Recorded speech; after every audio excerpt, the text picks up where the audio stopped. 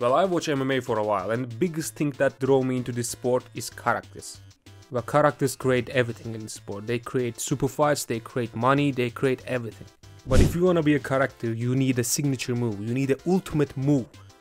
And today we are going to talk about that. And number one, Stockton Slap. Well, Diaz brothers are the most iconic duo in MMA history. We all know that, it's, it's just a fact. And Stockton Slap is the most known, most well-known signature move ever.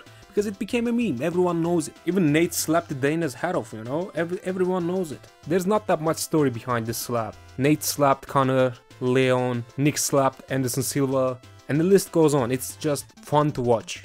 And number 2, Alexander Oleynik's Ezekiel choke, which is the coolest name for a choke. Well, if you don't know who is Alexander Oleynik is, Alexander Oleynik is a legend. He got 60 wins in MMA. Listen to this, 60 wins.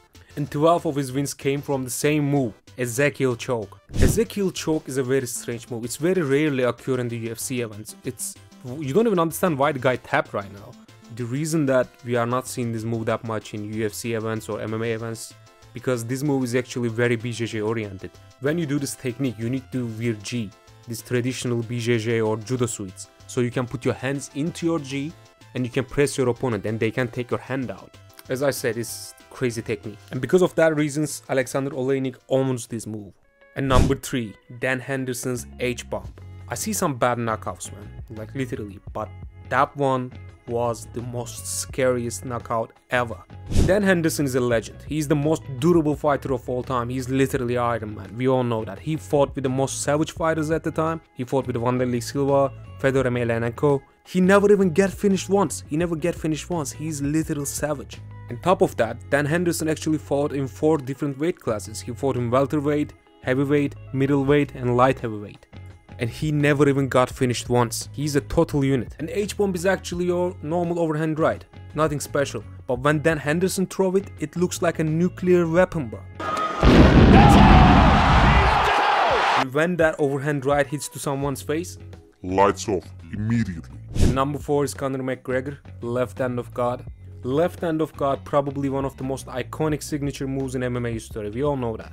Conor McGregor is one of the most polarizing figures in MMA. Even though his last years is not that great, when he was on featherweight, he was a different type of beast.